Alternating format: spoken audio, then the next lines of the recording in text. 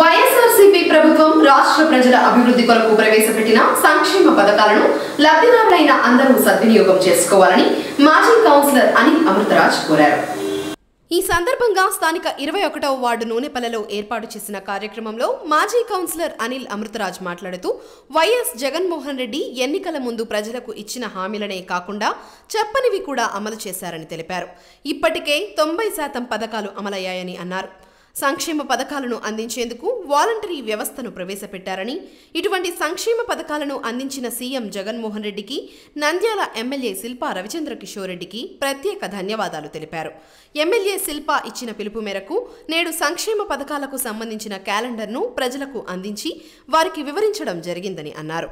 YS Jaganmohan Reddy గారు ముఖ్యమంత్రిగా ప్రమాణం చేసిన రోజు మొదలుకొని ఈరోజు కూడా ఈరోజు వరకు కూడా ఎన్నో సంక్షేమ పథకాలను నవరత్నాలను ఏదైతే తన మేనిఫెస్టోలో ప్రకటించి సింగిల్ పేజీ మేనిఫెస్టోగా ఆ రోజు ప్రకటించడం జరిగింది.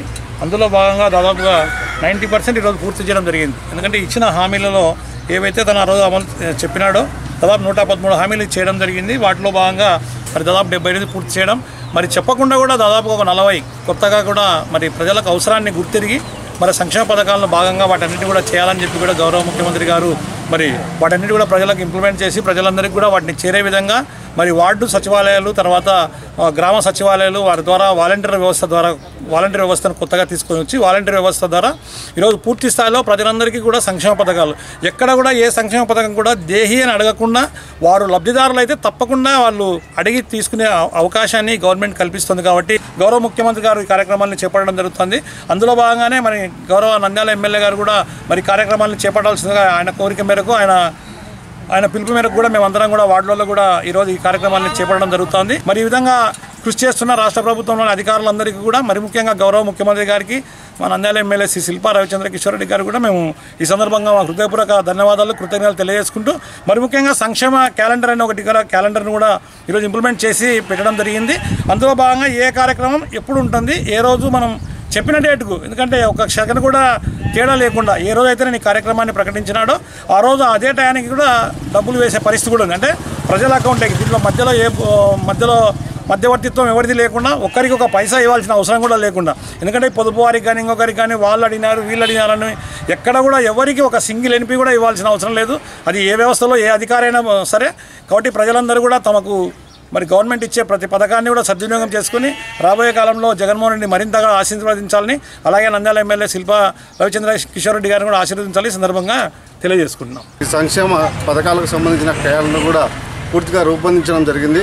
ఏదైనా వాలంటీర్ల ద్వారా కానీ సెక్రటరీల ద్వారా కానీ అందరి పథకాలు ప్రజలు చూసుకొని మళ్ళీ మాకు ఈ పథకం అందలేదు ఈ సమయానికి వస్తుంది అని చెప్పాల వస్తుంది కదా అని ప్రజలు కూడా అడగడానికి వాళ్ళు ఒక క్యాలెండర్ రూపొందించారు.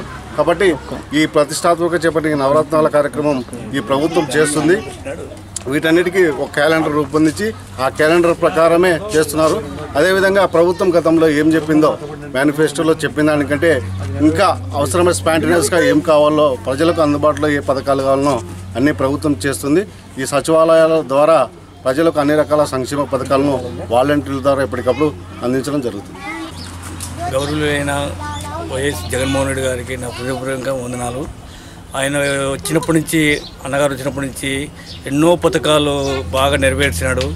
పాదయాత్రలో ఏమేమి నెరవేర్చి చెప్పినాడో ఆ దానిలో సుమారుగా ఫిఫ్టీ పర్సెంట్కు ఎక్కువనే తెలపరిచినాడు. ఇంకా అమ్మబడి అయితేమి అందరికీ చాలా వరకు అందరికీ పడిపోయినాయి. తర్వాత పొదుపు వాళ్ళకు కానీ ఇంకా రేపు పదకొండో తారీఖున రుణమాఫీ పడుతున్నది. చాలా రుణపడి ఉంటుంటాము. ఇంకా కష్టం చేసుకునే వాళ్ళకు ఏమి ఆటో వాళ్ళకేమి తర్వాత చేనేత కార్యక్రమాలకేమి నాయి బ్రాహ్మణి వాళ్ళకు కానీ ఇట్లా ఎంతోమందికి ఎన్నో పథకాల ద్వారా బీద వరకు చాలా కష్టంలో కూడా చాలా ఆదుకునేందుకు వైఎస్ జగన్మోహన్ రెడ్డికి నా హృదయపూర్వక వందనాలు తెలుస్తున్నాను.